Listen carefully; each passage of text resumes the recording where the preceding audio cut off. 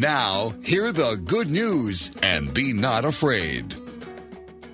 Good morning. Welcome to Be Not Afraid, Iowa Catholic Radio. Father PJ, good morning. Good morning, Father. So this week, or this month, better to, to say, is the Eucharistical month. Mm-hmm. So let us begin with a collect prayer for the body of Christ. In the name of the Father, and of the Son, and of the Holy Spirit. Amen. Amen.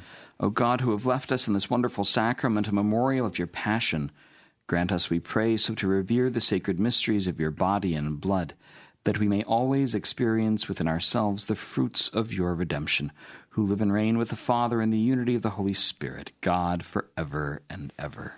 Amen. In the name of the Father, Father, and the Son, and the Holy Spirit.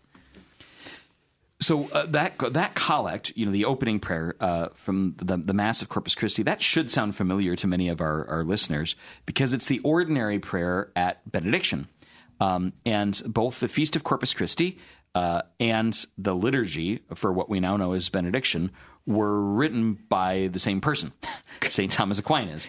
Um, Correct. And so, so he composed the prayer both as the collect for that mass, but also as the as, as the main prayer for the service of benediction, which typically also ends the mass because there's some kind of procession, at least for the principal mass of, of Corpus Christi. Uh, I, I would like to invite you, Father, to talk in, more deeply way about the Eucharistic prayer itself. So the main elements that are component the Eucharistic prayer have been distinguished very clear.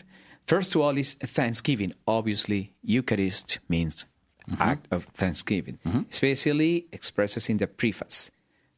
Yeah. So, so it, you know, the, the I- the thing, the very first thing to say, right, so that our listeners have clear in their heads what we're talking about. So, the Eucharistic prayer is that portion of the Mass that begins with, "The Lord be with you. Lift up your hearts. Let us give thanks to the Lord our God," and it's it's that up to the Our Father. Like that's the component of the Mass that we're talking about. Now, uh, listeners that are especially attentive when they come to Mass or watch Mass on TV or listen on the radio or whatever will know that there's a lot of variation that happens between lift up your hearts and the Our Father. And so what we're what we're going to try and do over the course of the month of June is walk through th- what some of those prayers are and why they're important and why we should pay attention and our ears should perk up when we hear them. There are um, four kind of ordinary Eucharistic prayers.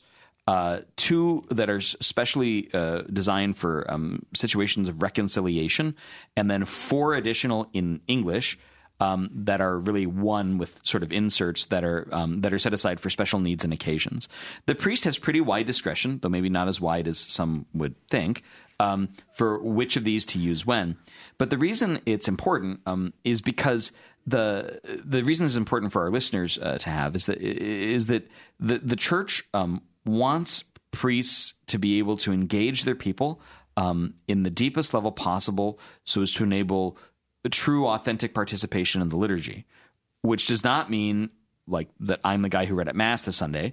It means that my heart was the one that was on the altar with Father this Sunday. Correct. And but in order to do that, the, the, the prayers need to be best suited for the group of people that you have. So you might do something different at the nursing home than you would at the preschool, right?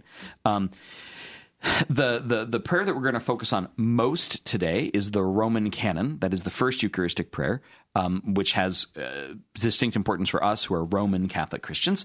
Um, but there are elements that remain the same across the board. And as you rightly pointed out, the the, the preface um, is that first part. It's the part that comes after "Let us give thanks to the Lord our God," um, and right before the Holy Holy. And it really is what distinguishes this Roman piece. So in the in the Eastern churches there are a whole variety of Eucharistic prayers. We've only had nine or 10 or 12 for the last 50 years. For almost all of our history, as far as anybody can reasonably tell, there's been one.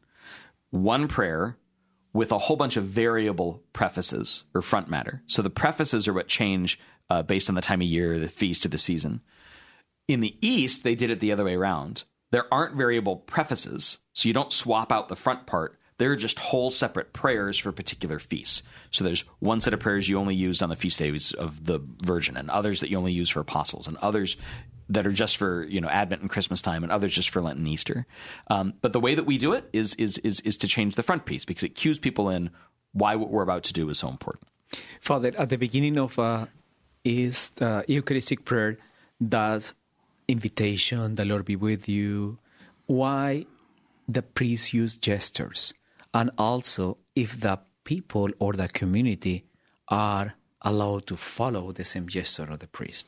Because I speak Yeah. from the Hispanic community that people have been doing exactly Yeah, the same the same movement that I have been doing from the altar. So the so so um, kind of monkey see monkey do is is a very normal thing, and and and this is very old, right? So so um, I can remember as a kid, you still see this sometimes. Um, you'll see people make the sign of the cross at uh, at, the Misereatur. So at the beginning of Mass, may Almighty God have mercy on us, forgive us our sins, and bring us to everlasting correct. life. Right, that right. has never been in the Missal. That's that wasn't part of the old Mass, but it's a false memory of a thing that really was part of the old mass. So in the in in, in the in the former missal, right, um, there was a second prayer. So the so you'd say the Confiteor, and then the priest would say, "May Almighty God have mercy on us, forgive us our sins, and bring us to everlasting life." Amen. And then there was another prayer that was, um, "May the all powerful Lord grant us pardon, absolution, and the remission of all of our sins." Amen. And there was a sign of the cross there. Well, that prayer sounded so much like absolution that they were afraid once it was translated into the vernacular, people would think they didn't need to go to confession anymore. So they took it out. But people remembered there was a sign of the cross there. And since they mostly would just do whatever they saw the priest do, some people still make the sign of the cross. Um, so, so, so, so, what about gestures that the people are doing? Well, there are some gestures that are clearly the priests and the priests alone. So things that involve like extending hands over objects, Epiclesis. or lay, laying hands on people, or or when concelebrants extend their hands toward the elements. Right? Yeah, lay people shouldn't be doing that. Um, if lay people make the sign of the cross and the priest makes the sign of the cross, it probably doesn't matter. Um, the back and forth exchangey thing with hands at the Lord be with you, I find um, at, at times a little disconcerting. I'm not going to lie, um, but that's just my own personal taste. The missal doesn't call for it, but it doesn't forbid it. It probably is not a ditch, especially worth dying in, except to understand that when the priest addresses the whole community, he's acting in a kind of presidential way, whereas the members of the community clearly can't act sort of qua community in the same way. So, like, I don't do it when I'm not celebrating, but I, I, I don't know that it's a sin that people do. It's very interesting explanation because sometimes it's an, uh, a little bit debate. May I say that? You know, some some people say you you need to do that. It's only for the priest, or vice versa. But with that clarification, we can uh, move into together to celebrate and honoring the Holy Mass. Iowa Catholic Radio, be not afraid. Iowa Catholic Radio welcomes Scotty McCreery with special guest Ali Colleen. Give myself five more. Sunday, July 24th at the Iowa Event Center Ballroom.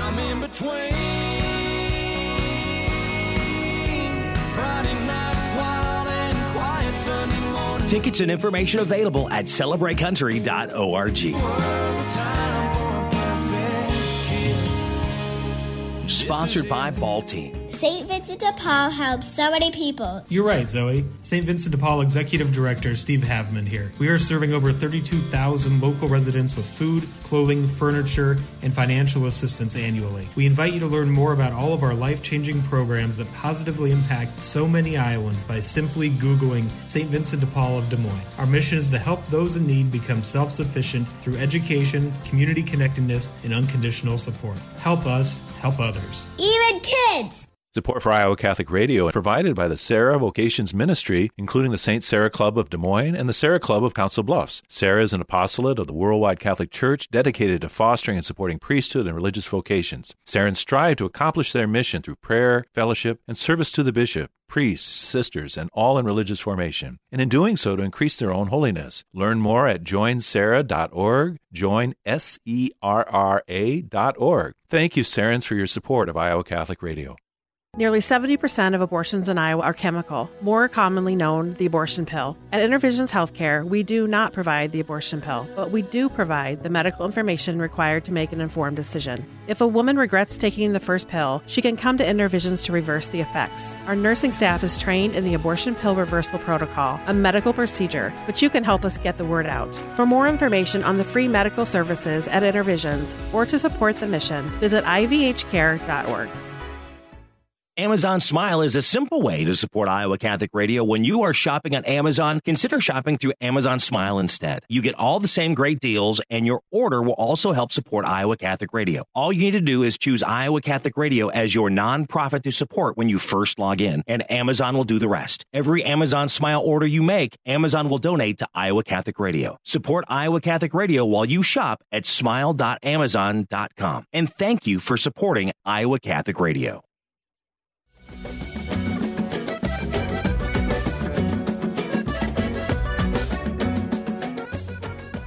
Welcome back to Be Not Afraid, Iowa Catholic Radio. Father, how is composes the part of the this Eucharistic prayer? So the the Eucharistic prayer has several component parts. They're like essential features, and they don't always follow in exactly the same order. But I think these are worth just kind of having in people's ear in order to make sense of what we're about to do. So the first you mentioned at, at, at the top of the hour, right? The Thanksgiving, which is expressed principally, though not exclusively, in the preface. It's worth noting, right, that the the the word Eucharist means Thanksgiving, although it might actually be better to say that the word Thanksgiving means Eucharist both because the word Eucharist comes first, but also because the whole notion of gratitude in the way that we have it now is really uh, a, a distinctly, maybe not peculiarly, but distinctly Christian concept. The the Jews had a notion of Thanksgiving, but their acts of Thanksgiving always involved offering a sacrifice back to God in gratitude. That's really what's at the heart of the Eucharistic celebration. The second uh, component part is, is, is acclamation, which is shown um, primarily for us in the people singing of the song Sanctus, the Holy Holy. It's the people's response to the priest's uh, to, to the priest's preface. Um, note that there's a, the the when we hit the Eucharistic prayer, especially um, the, there's a kind of call and response from the priest in the assembly. The priest doesn't usually take the assembly's parts.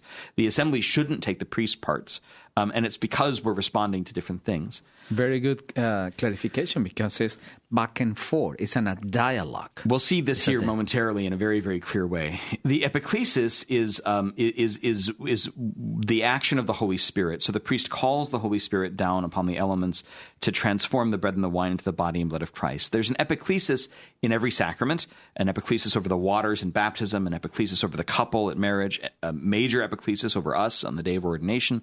Um, but it, it, that's typically what is signified when the priest extends his hands over something or someone. The institution narrative itself, or what in, in the West we typically call the words of consecration, are the words and actions of the Lord himself at the Last Supper, where the priest takes the bread and says, This is my body, and takes the chalice and says, This is the chalice of my blood, um, and elevates them to show them to the people. You, notice, you know, the priest says those words by himself or with concelebrating priests, but when he rises from having genuflected to the newly confected sacrament, he, he, he exclaims, The mystery of faith. And the people respond with one of the three acclamations that are provided in the we missal. But there, but but notice that those. So first of all, notice the priest is not directed to say those words; those belong to the people. So the priest, the idea is the priest is like in awe mm-hmm. of what has just happened in front of him on the altar, and the people are so awestruck they now respond to the priest's acclam- exclamation with an acclamation of their own. But the words are not directed to the Father; they're directed to the Lord on the altar. That's the reason that Christ has died, Christ is risen, Christ will come again, is of pious thought and well a part of the Christian tradition, but not appropriate in that moment, whether it's in English or in Spanish, because it's like talking about Jesus in the third person when he just walked into the room. So it's it's it's an expression of faith in the Eucharistic Lord on the altar. The uh, the go ahead. The anamnesis. The anamnesis. Anamnesis is a. It's probably the most important word in the whole tradition. It's it's it's the word everybody should know. Also, always helps you win at Scrabble. The anamnesis um, is is is is the part that immediately follows the consecration. Uh, celebrating, therefore, O Lord, the passion, death, and resurrection. We offer you. So it's it's it's it's a memorial offering. Um, uh, anamnesis literally means to remember in our midst to bring that which is present into our midst. It comes from the Passover celebration by which Jews even today share in the Passover from Egypt. The oblation or the sacrifice by which in this very memorial the church in that particular gathered community offers again the victim which has been given to the Father intercessions for the church proper, right? Remember, O Lord, your church scattered throughout the world, Francis our Pope, William our Bishop, all the other people, um, uh, and um, and especially the dead, right? Um, so, so, so, so the living and the dead, the Mass is always offered for both the living and the dead. But for those of us who have lost, the Mass is the place where we come closest to those who have gone before us in faith. And then finally, the doxology, through him, with him, and in him, to you, O God, Almighty Father, in the unity of the Holy Spirit, all glory and honor is yours forever and ever. So, in some way or another, each of these elements is present in all of those prayers that we mentioned. Um, and, and, and those prayers together form a kind of cohesive whole that shows us what the church thinks the Holy Eucharist is. and also it's very meaningful you know it's not a simple dialogue it's tra- each moment have an special meaning meaning according to the structure of the liturgy of the eucharist itself What, Father, um, as you've been ordained, um, how did your relationship to the Eucharist and, and specifically to the celebration of the Mass, how did it change from your experience first as a layman for many, many years, and then as a deacon for a short period of time, and then now as a priest? This is a very good, very, very beautiful question. I, w- when I was appointed in Council Bluffs, in my day off, I usually join an, uh, one of the masses over there nearby to the Creighton University. Uh, it, it's very different, you know, because uh, when when you are part of the congregation, I mean, you can see the whole picture. May I say that? Not because as a priest you are not living the, the whole picture, but in that moment, it's uh, it's also moving your heart because you have been looking the altar with the alter Christus as well. So moving me a lot, and it's completely different as a lay person. Later, as a transi- transitional deacon, and then as a priest. In the first moment, I am, if may I say it, a guest. Mm-hmm. In the second one, I am close to the guest at the altar, I mean. Mm-hmm. And then as a presider, is completely different meaning. And it's very enjoyable in spirit, enjoyable in a human condition, and also it's a privilege that only has been living and enjoyable by humility. I remember a kid when I was at Dowling um, uh, who played the clarinet, um, and and he was the only boy that played the clarinet for several years, and I and he got teased a lot for it because clarinet was more a girls' instrument at the time, and um, and I, one day after he'd been teased pretty hard, I said to him, um, uh, wh- "Why do you play the clarinet?" Like, I, like you, you had to know this was going to cause you all kinds of grief. It causes you clearly all kinds of grief. Why you play the clarinet? And he said, I don't know how to describe it, but when I'm in a band, I just feel like that's the sound that I should be making. And I and, and I think for me, I mean, this is a really pared down analogy. I get it, but um, but I, I I think for me, as I journeyed toward the priesthood, somehow it it I simply felt drawn like those were the words I should be saying. That was the place I should be taking in this assembly. Didn't mean I shouldn't be doing other things. Uh, d- and didn't mean that I couldn't appreciate what other people were doing. Right. Um, I can sing reasonably well. I've never really felt drawn to cantor, but uh, but but but it's about finding your place in the band. Absolutely. mean part of the orchestra. Iowa Catholic Radio, be not afraid.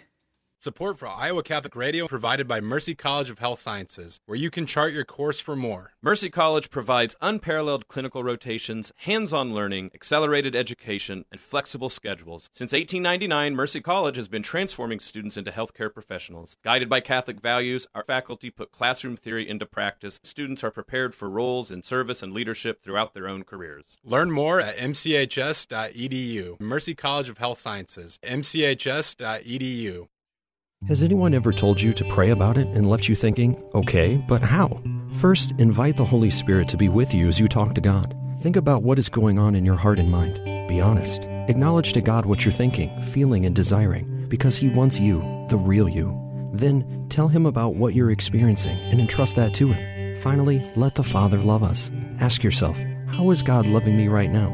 He is loving always. Sometimes we need to stop and think of our blessings, because that is where we can find God. Hello, this is Steve Ray. Join me in Iowa Catholic Radio on the journey of a lifetime with a Footprints of God pilgrimage to the Holy Land, November 11th through the 20th, 2023. We'll visit the places where our Lord performed miracles, including the Mount of Transfiguration, the wedding church in Cana, Tabgha, where Jesus multiplied the loaves and fish, and of course, the Holy Sepulchre. The scriptures will come alive as I offer expert teaching along the way, like I always do. Visit iowacatholicradio.com for all the details. Support for Iowa Catholic Radio provided by Knights of Columbus, Borman and Pfeiffer agencies, serving the Catholic families in Iowa. The Knights of Columbus is a fraternal benefit society providing financial security to members and their families, specializing in life insurance, long-term care insurance, disability income insurance, and retirement annuities. And you can reach Knights of Columbus field agent Rob Ryan at 563-689-6801. That's 563-689-6801. Thank you and God bless.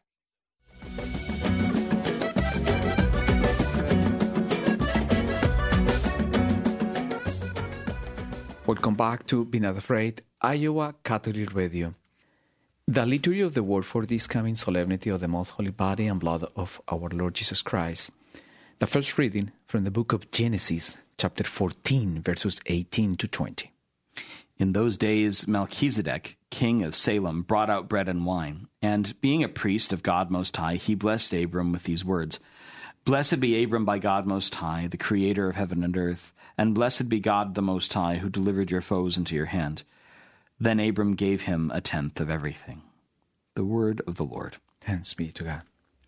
So this is uh, uh, an episode very near and dear to every priest's heart because every Catholic priest at his ordination is is sung to from Psalm 110, "Thou art a priest forever, according to the order of Melchizedek." So Melchizedek is is really he's he's the first priest priest that we encounter, right? Um, the, uh, up until this point, um, the father of the family acted as priest. Um, the rabbis say that Adam offered the first sacrifice when he slaughtered the animals for their skins. Um, and then later, uh, Noah, of course, is made to offer sacrifice as a thank offering when they when the boat finally lands someplace. Um, in a certain way, even sending out the birds was a kind of an offering because he wasn't sure he'd get them back, right? Um, but uh, the, the, so there's a patrilineal or a paternal element of priesthood, which is real. There's authority that is passed on by natural law um, from from parents with their children, um, and parents by nature sacrifice for their children. Um, mothers sacrifice of their own bodies first in childbirth and then in nursing father sacrifice uh, in a kind of providential way, like that is as provider.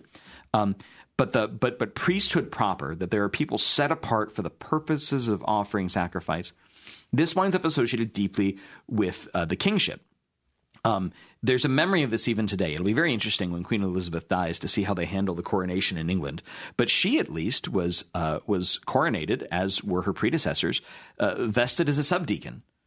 So she wore a tunicle, just like a deacon does. Um, and Wow. and uh, uh, and and and that's a memory of a time when the when the English Church was Catholic, um, and uh, and that the the, the the the monarchs were really in some way kind of part of the clergy. They were sort of priesty or priest adjacent, we might say. So. So Melchizedek, right, is this very mysterious figure in the Old Testament, the king of Salem, which becomes Jerusalem, um, Salem meaning shalem, uh, shalom, peace. So he is the king of peace, Um, and he is unique at this point in the Old Testament, um, in those first fourteen chapters of Genesis, in having uh, no mother or father. So up until this point, every man that is listed, we're told he is so and so, son of so and so, so and so, son of so and so, right? Um, Abraham is the son of Tamar, right? But um, uh, but but but that is uh, not not the case with Melchizedek. He has no origin and seemingly no progeny. He's the king of peace.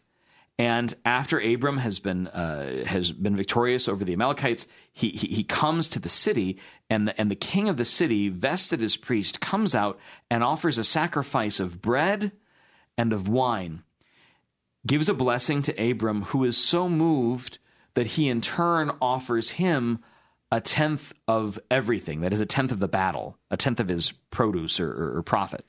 Um, the way that Abram participates in the sacrifice that is being offered is by offering the fruits of his labor. That that that is a, a very very beautiful explanation, and uh, listen listen carefully what you said, Father. Back to my mind how I feel at the moment of the consecration. So what happened in my body? Because could be an, a simple intellectual or rational by theological formation and education to do it. But honestly, I don't know. This is the is the, the place to say that, but my, my my hands at the moment of the consecration are literally hot, literally hot. And uh, sometimes uh, during the COVID season, say, "Oh boy, something happened." In, in I probably have fever, but that kind of sign, it's a very uh, understandable how the Holy Spirit take ourself an instrument in the presence of Jesus Christ to doing from the piece of bread and a chalice of wine the precious presence of God. That's exactly right. We have an old priest who helps out at, at Christ the King a fair bit, and he's you know his hands are arthritic, and he and he he, he sometimes worries that he doesn't look right because he can't you know he can't elevate the chalice as high or something like that. I tell him every time, no, those hands are an icon. Your Wow. hands your hands show the people what it is they're all meant to be doing. Um, you know, I, I, I learned a valuable lesson about this in particular from a Baptist minister one time. He was visiting, and uh, of course, we talked beforehand about about communion. He wasn't able to receive communion, but um, it was at a mass where we didn't happen to have a collection. Just it was not very big, and there weren't that many people there. And he said afterwards, "Why wasn't there a collection?" And I said, "Well, it's daily mass, and we don't usually do that, and kind of thing." And he said, "Well, I'm furious." Wow. What are you furious about? He said, It's one thing when you don't let me receive. Don't limit my ability to give. Wow. I, if only all of our people would think that, right? But but what a what a beautiful insight. He got what Abraham understood here with Melchizedek. Right? The the the, the, the way that we share, like so like we don't we don't pass the plate just because we need to keep the lights in the church on. And that's true.